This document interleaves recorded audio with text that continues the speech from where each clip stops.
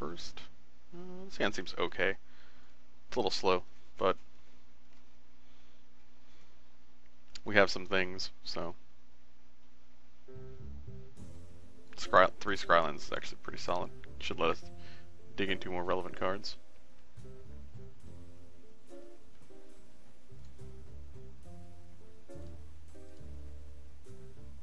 Uh, we'll leave that on top actually, that guy's pretty solid. I'm actually pretty sure I'm playing against Red White Devotion, uh, so Soldier of the Pantheon really shines here.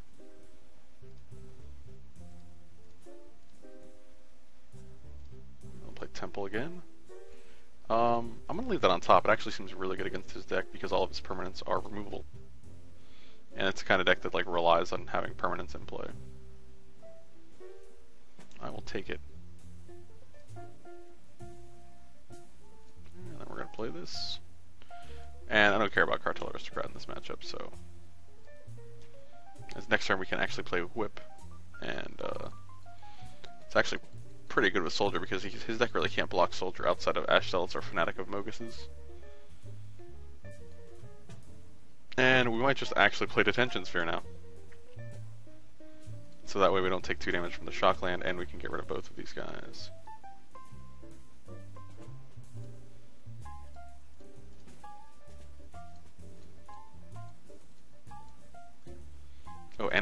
Temple now? Jeez. Good times all around.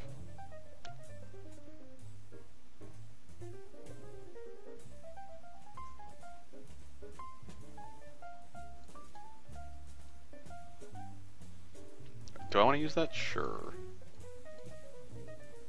Uh, Watery Grave, you can go away.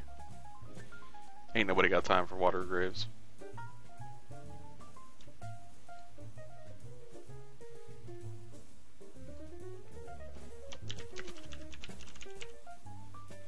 I can I can definitely see uh, getting rid of a Purphoros here with that. And then maybe playing attention and uh, imposing sovereign. Yeah, let's do that.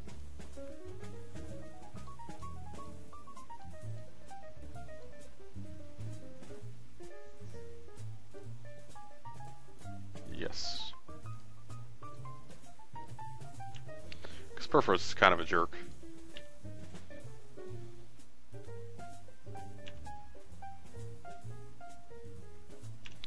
Does have four cards in hand though, which is a lot. Stormbreath Dragon? Yep, Detention Spheres aren't really good against that guy anyway, and I have, uh...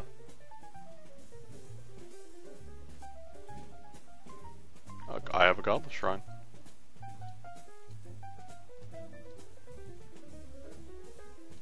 just keep playing lands because uh, we want them. And they come into play tap, so you never want to have to need a land and not have it in play because you wasted a turn. But yeah, Stormbreath Dragon's actually not that big of a deal against us because uh, basically can't attack. Like we're just gonna gain four, deal four. And all subsequent Stormbreath Dragons come into play tapped.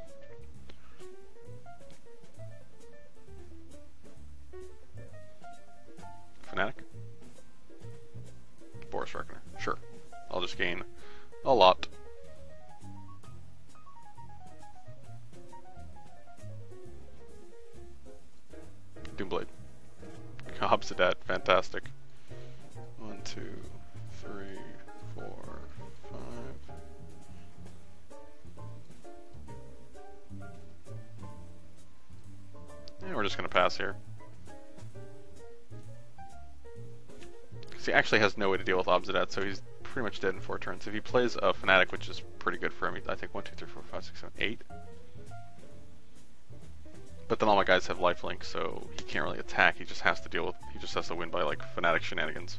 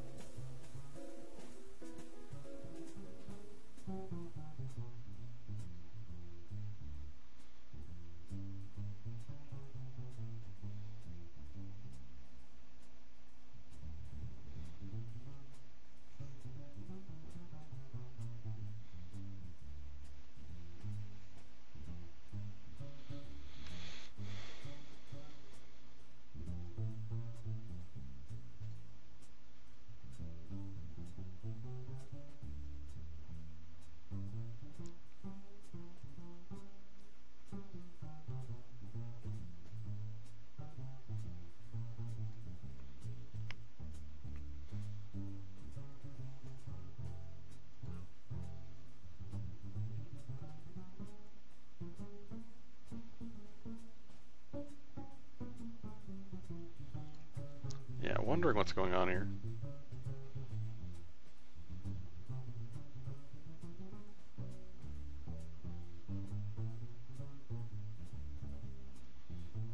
So seven mana, eight, nine mana. So it's nine total. Hammer of Purphoros. So another Nick. Oh god. 11 mana. So I think he activates Stormbreath Dragon and maybe plays Fanatic. That'd be pretty ridiculous. Oh, he plays another Stormbreath Dragon. Now plays Fanatic. Okay, just Monstrous is one. That seems fine. It's not great, but it is what it is.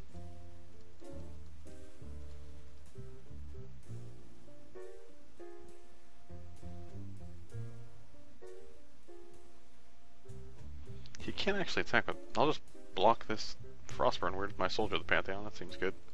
And if I get any removal spell, I can just kill his Boros Reckoner and just win on the spot, right? He goes to 6.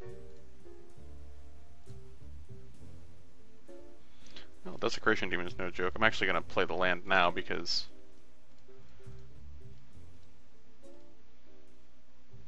Uh, there's no reason not to. So Soldier actually can go in, puts me to 18. Uh, he just blocks with Reckoner, uh, kills Obzedat, so we're not going to do that.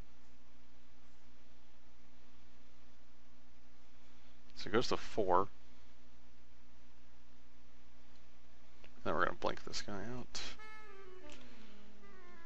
So even if he if he activates both dragons, I take uh, 14. All my guys have lifelink though. He can make a soldier stack it too. I take 14 means 17. And then Imposing Sovereign's going to give me 2 no matter who it blocks, so I should be fine. Even with Reckoner, Reckoner, Stormbreath Dragon, I take 17 damage. Like, there's no way he can not tap the demon.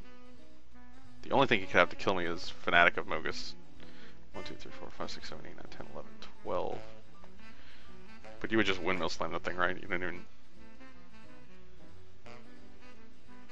yeah, that's fine. That's not going to do it. That's actually just going to gain me a life and come in and play tapped.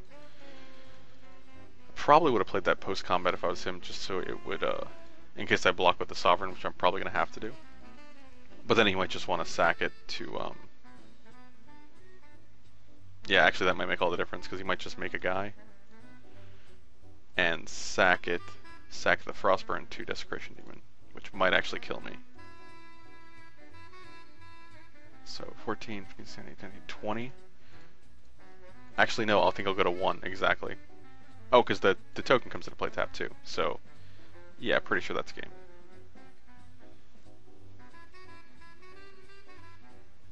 Well, maybe not game, but it's pretty close. He's gonna have to sack, like, probably a golem next turn. He might just not attack this turn. Depends on what I draw as well. Like, I can draw, like, something ridiculous.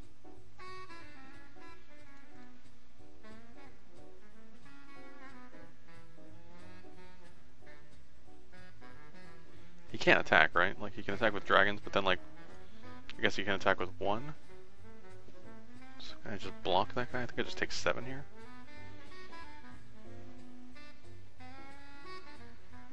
Hmm.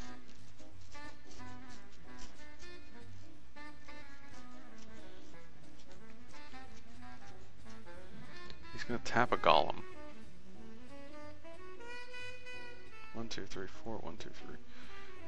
Hmm, it's tricky, tricky, tricky. Uh, I think we're just gonna take seven here.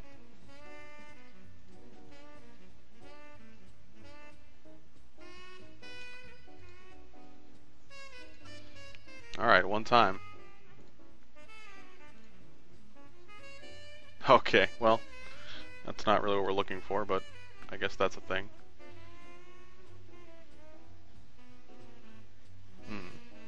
Skynet will put on top, that's actually fine. He's gonna have to sacrifice something to, to Desecration Demon. So he blocks this guy with Storm Dragon, he blocks this guy with anyone. Probably Frostburn, he blocks this guy with Boros Reckoner. Next turn I might just be dead.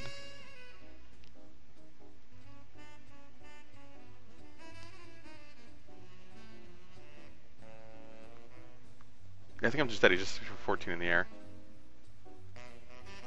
Hmm. Unfortunate. I guess I should have blocked? I don't know. Um...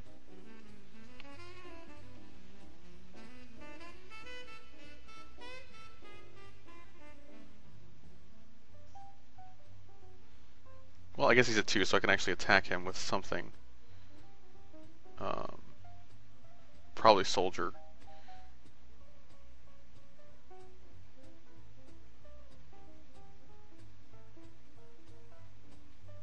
Has to be blocked by Stormbreath Dragon. Prevents the damage, um, so that I don't gain the lifelink. Uh, Obzedat is also an option. But he probably best blocks the Reckoner deals me 5. So I gain 5 loot, like gain 5, lose 5, break even. This guy just gets blocked by Stormbreath. All the, all the white creatures get blocked by Stormbreath Dragon, so they can't really... Um, let's actually get in there with, with Obzedat, and then we can whip him, if, uh, if that's... Oh, again, he just blocks with Stormbreath Dragon. Yeah, that's... Pro White's pretty good, apparently. So that's not an option. Yeah, actually, because of the pro white, I don't think blocking, whether I blocked or not, was even really relevant. I guess it could have kept me alive for another turn. He would have made another guy. Wouldn't have had to worry about sacking his Frostburn Weird. So he would have had a 3-3 and a 1-4. I mean, I'd probably unearth this guy. He'd still have to sack it and tap it. So, okay, let's say he doesn't have Frostburn Weird. Next turn he'd have. Yep, that seems obvious. Alright, so Oh, actually, did I just did I just mess up real bad? If Obzedat dies, I could whip him back and kill him? Is that what I just threw away? Wow. Why didn't I think of that? I guess because it's early? I don't know. That's really awkward. Let's pretend that didn't happen.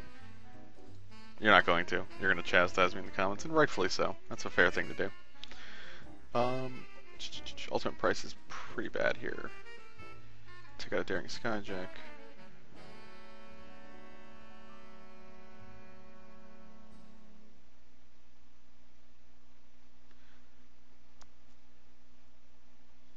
Yeah, but to be fair, he blocked in incorrectly too. If he blocks with like Boros Reckoner, it doesn't kill my uh my Obzedat. So he literally had to kill my Obzedat with Stormbreath Dragon, and then I could have whipped him back. Um, so technically I should have won that game. I just misplayed. Like I just like I wasn't looking at that plan. So uh, we'll take out one more Daring Sky. I don't think Daring Skyjack's that great in this matchup because we're not attacking with a bunch of guys. Far and away seems fine though. Or Glare of Heresy actually. Let's go Glare of Heresy.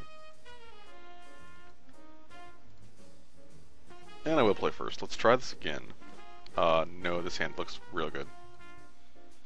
We have all the colors for all the cards. We also have a bunch of removal and a bunch of hard to deal with guys.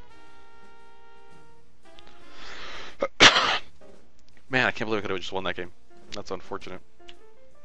But I consider that a victory because it's a kind of a testament to how the deck would have, like the deck would have won. So, but if my opponent didn't block improperly, I wouldn't have won. So it's kind of a wash.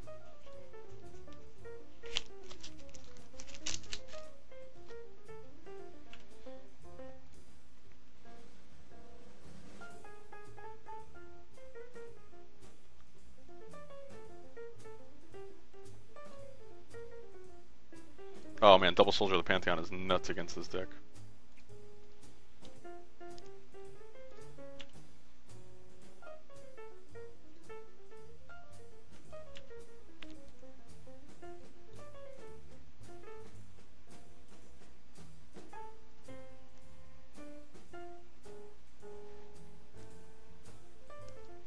Interesting.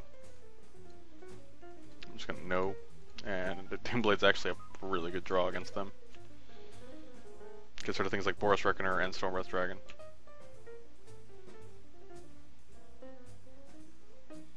Not Anger of the Gods, though. That is a card. Well, I guess we just play a demon now. And even if he has, like, Chained to the Rocks, I have Glare of Heresy, so...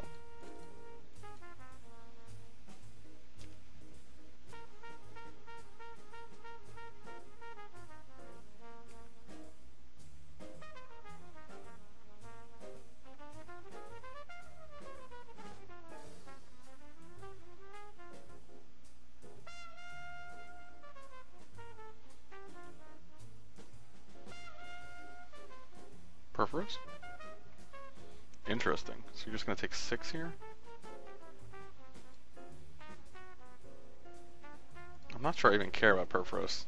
Pretty sure I don't, actually.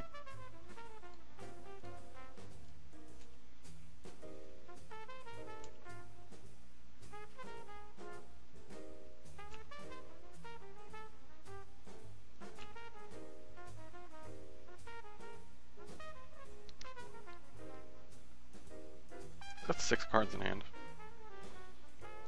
Uh, so I can just kill this Boros Reckoner basically, and um,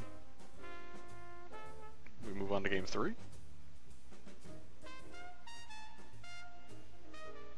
Hmm. Well, I'm gonna do that. See if that works out the way I want it to. Okay, that was easy enough. One Desecration Demon gets the job done, I guess. Actually, I kind of like Pay No Heed just because he has um, Anger of the Gods. So let's try that out. Uh, maybe we'll take out one Supreme Verdict for one Pay No Heed. Try it like that.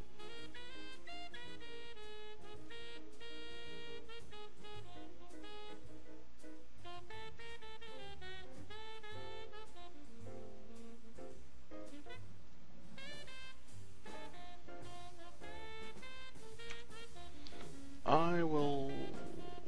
No, this is, this is fine. Doomblade's gonna help me out a little bit. And, uh... Desecration Demon has proven to be a decent... Yeah, that's pretty good, too. A decent... Oh, yep. okay.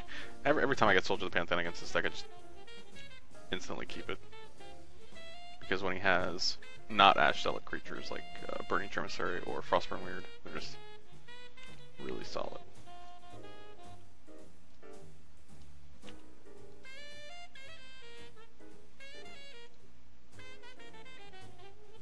Six games in a row. or five, geez, that guy has a beating. Yeah, he's really good against this guy.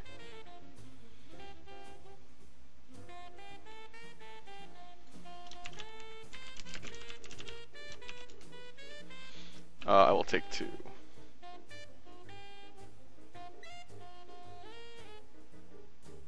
Boros Reckoner? Yeah, that guy's a that guy's a jerk. Oh boy, now he's gonna get sad.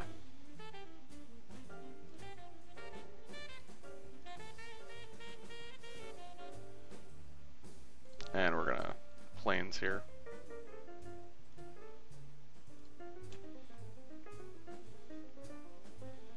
Yeah, Soldier Pantheon is insane against his deck. Blocks literally everything. Literally everything. Even when he has an Ash on the board, I say it blocks literally everything. It still blocks literally everything, technically, so. Yep, you got it. And now we get rid of this pig.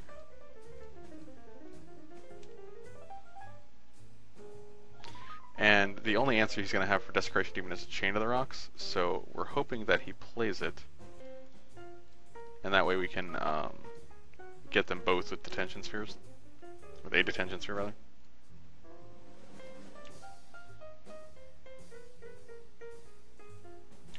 That would be ideal.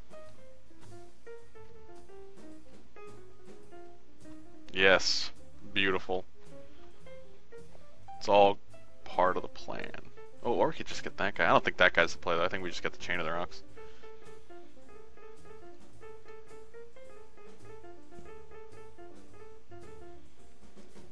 Doomblade's actually pretty solid here. Uh, one, two, three, detention sphere. Get rid of Chain to the Rocks. Yes, of course I'll use the ability that I just specifically cast the card to use. Why wouldn't I? And then we're just going to go to 7 and uh, take 2 from a land here. Because even if he has Fanatic, uh, I can just kill an Ash Zealot.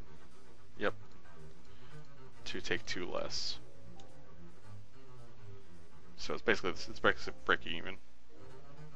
It's at 14 though. I might just lose this game from uh, like if he has another fanatic, I'm just dead. Oh, he has no cards in hand though, so I guess we're dealing with top deck mode. Now he could go to combat, sack his fanatic to uh Yep, yep, to make me block with soldier. Which that's fine, I'll just chump block. I'm not gonna go to I'm not gonna go to two there. Let's see what Temple does. That's fine.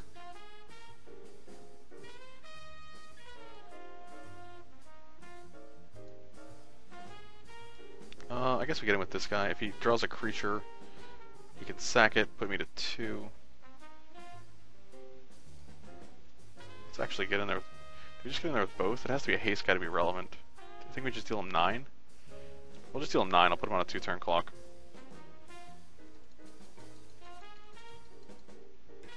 Nice. That would be the end. Alright, so solid record against the red-white deck.